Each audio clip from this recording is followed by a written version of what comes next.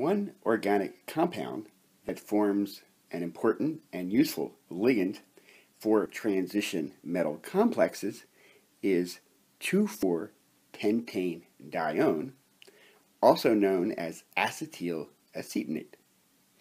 One of the features of this compound is that it has two carbonyl groups. A carbonyl group is a carbon doubly bound to oxygen.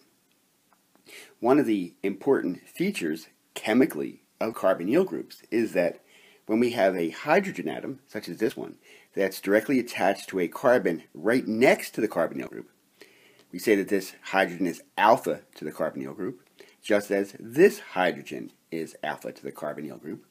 Those hydrogens are relatively acidic. In a compound with a single carbonyl group, we can abstract this proton, we can remove the hydrogen using very strong bases such as sodium hydroxide. In this case, we have a particular situation where we have two different carbonyl groups, and they are sufficiently close to each other that this hydrogen and that hydrogen are alpha not just to this carbonyl group, but to this carbonyl group as well. When we have this situation where we have a hydrogen atom that is alpha to two carbonyl groups, the hydrogen atom becomes very acidic and it is quite easy to remove the hydrogen.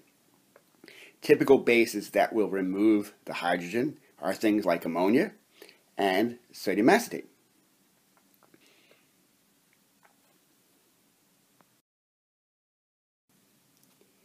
If we react the compound 2,4-pentane dione with a sufficiently strong base, such as sodium acetate or ammonia, for example, we can abstract one of the acidic hydrogens that are alpha to the two carbonyl groups. So in this example, let's remove this particular hydrogen as H+. plus.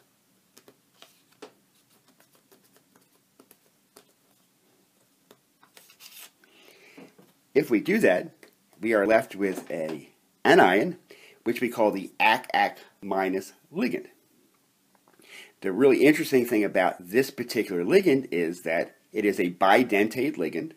The negative charge of the anion is delocalized over oxygen, the three carbons, and this particular oxygen.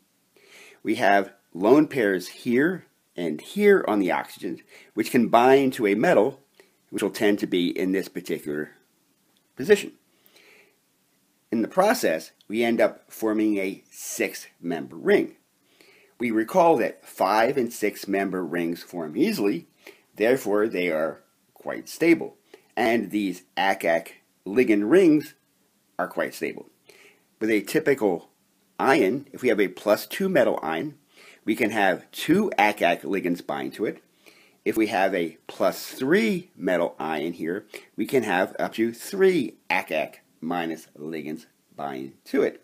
And these uh, transition metal complexes are very stable, and the compounds that result have interesting and useful chemical properties. One one one five five five hexafluoro 2,4-pentane dione is another organic compound that is a useful ligand for transition metal complexes. We can think of this compound as 2,4-pentane dione, where each of the hydrogen atoms that had formerly been part of the methyl groups at the end, at the 1 and 5 positions, have been replaced by fluorine atoms. In this particular compound, we have lots of electrons. Each of the fluorines contributes seven valence electrons.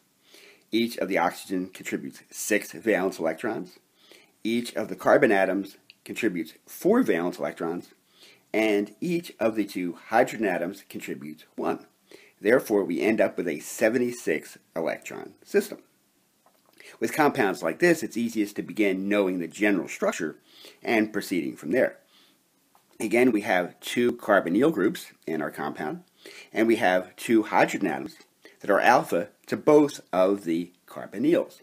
Therefore, the hydrogen atoms are going to be acidic, and easily removed by relatively strong bases such as ammonia and sodium acetate. Since the hydrogens on the number 3 carbon are acidic, if we react them with base, we can abstract the proton. So for example, let's remove this particular hydrogen atom, and it leaves behind this electron, so we're left with a negatively charged ligand, a 111555 hexafluoroacac ligand. Again, these five atoms, two oxygens and three carbons, will bind with a metal in this location to form a stable six-member ring. Since the anion has a minus one charge, if the metal here has a plus two charge, it will bind with two of these ligands. If the metal has a plus three charge, it will bind with three of these ligands.